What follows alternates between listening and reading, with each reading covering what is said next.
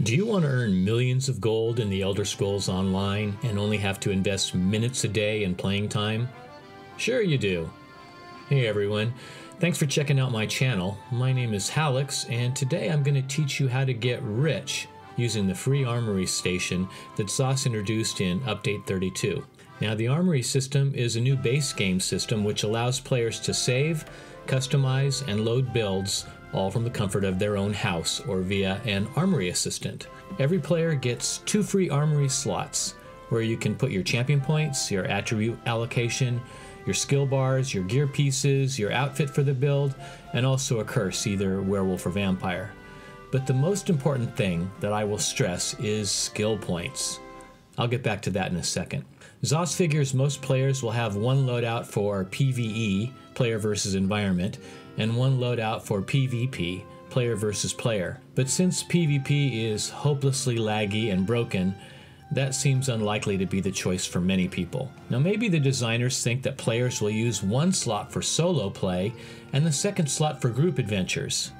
It's a possibility, I suppose, but for me, the difference between group and solo play is wearing the Ring of the Pale Order and a Slimecraw helm rather than a two piece monster set.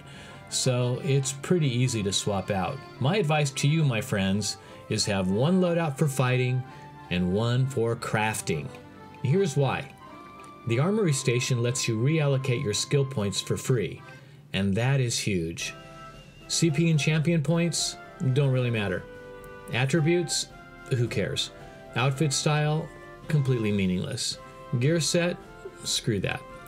It's all about the skill points, baby, and if you dump all 165 skill points into crafting, you are going to get rich. It's always been difficult, especially for new players, to sacrifice skill points and put them into crafting. You needed your skill points for fighting and for your passives. For that reason alone, crafting was the red-headed stepchild, only getting a few measly skill points here and there. The armory system changes all that. The hirelings alone will bring you resources daily worth thousands of gold.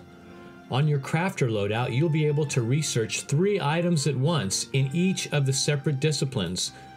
I really can't express what a windfall this is, and you should jump on it before ZOS changes its mind on skill points. People ask me if it's worth it to spend 5,000 crowns on the Armory Assistant. That seems like a total ripoff to me. It's one click to get back to your house and to your Armory station. Now, if you were allowed to use the Assistant in trials and arenas and PvP, you could make an argument for buying the Assistant. But ZOS doesn't allow that, so I say screw it. Is it worth it to buy an additional slot for 1500 crowns? I'm not, but that's really up to you. 1500 crowns also buys an additional outfit slot, and fashion and housing are the real endgame, so maybe that one is worth it. I'm not sure.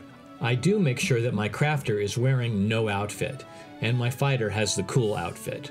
That way I can easily distinguish them and switch as necessary depending on what I'm doing in the game. Well, that's all I have for you today. I hope this video was helpful. If it was, please subscribe, like, and leave me a comment and I'll see you in the next video.